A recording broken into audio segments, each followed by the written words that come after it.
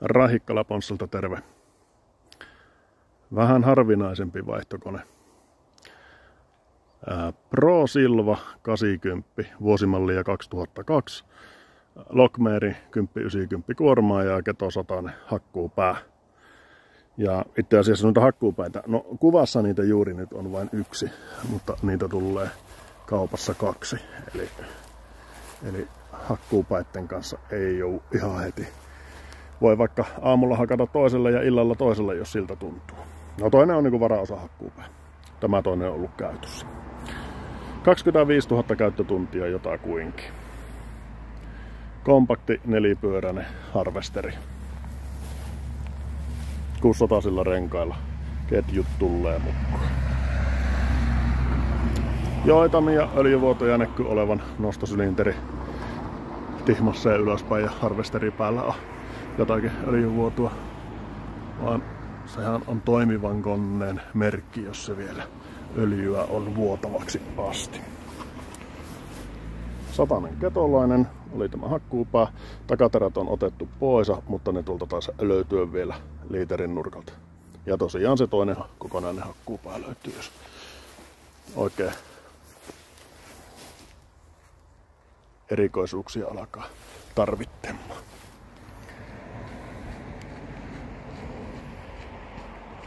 Jatke on laitettu tuolla lailla niin kuin, niin kuin kylelleen. Pikkunen ratkeaman alku oli tuolla tuon yhden vahavikkeen päässä, mutta muuten kun ajatellaan, että 25 000 käyttötuntia ajettu, niin ihan varsin asiallinen. Ei ole välyksetön, ei ole virheetön, mutta 25 000 käyttötuntia asiallinen vehe kuitenkin siihen katsottuna.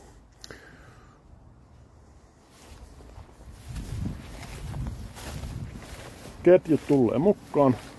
Ihan eivät ole itse asiassa hirvittävän kuluneet, mutta vähän tuommoiset kevytrakenteiset ehkä niin mettäkäyttöä. Mutta onhan tämä kevyempi konekin, voihan se riittää. Tosiaan koneen leveys oli oli semmoisen 275, 280 näillä 600 renkailla, mitä mittailin. Meidän kappeimman koneen leveys tällä hetkellä 700 renkailla on 284 senttiä. Eli, eli tuota, onhan tämä pikkusen kapiampi. Mutta tietenkin jos tähän laittaa 700 renkaat, niin sitten tämä olisi yhtä leviä kuin meidänkin kappeimmat koneet.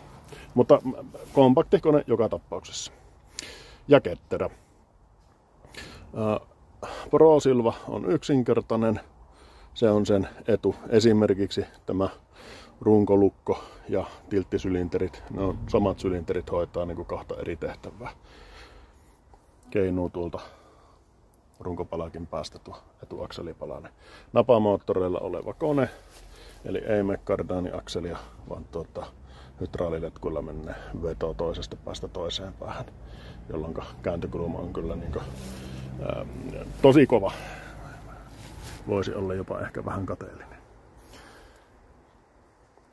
Ledivaloja.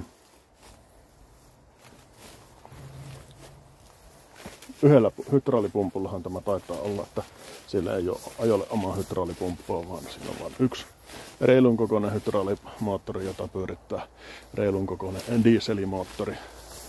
Väittäisin, että se on Perkinsin jos ei ole, niin laitan sen jotakuinkin tähän kohti teksteihin, että ei se ollutkaan hän, vaan se on joku toinen. Pikkuketterä kone. Mun isäntälinjan tarpeisiin varmasti ihan etopeeli.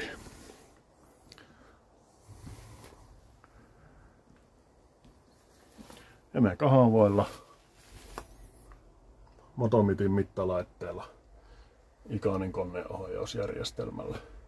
Ja semmonen pikku esimerkki siitä, että miten tämä kone on niin yksinkertainen, niin tuo vipu tuossa, niin se on, se on just sitä, miltä se näyttääkin, eli se on käsikaasuvipu. Eli tuolla laitetaan kierrokset päälle. Nyt jos moottori ei ota kierroksia, niin ei tarvi alkaa tietokoneelta katsomaan, että missä se on vika. Tietenkin toisaalta ei pystykään katsomaan tietokoneelta, toki siitä automatiikasta on jotakin hyötyäkin. Mutta jos haluaa semmoisen yksinkertaisen koneen, niin tässäpä sulle sellainen. Mutta ei muuta kuin Ponssen konemyynnistä kyselemään lisätietoja. Kone on heti vapaa. 2 tonni kakkonen. Pikkusilva.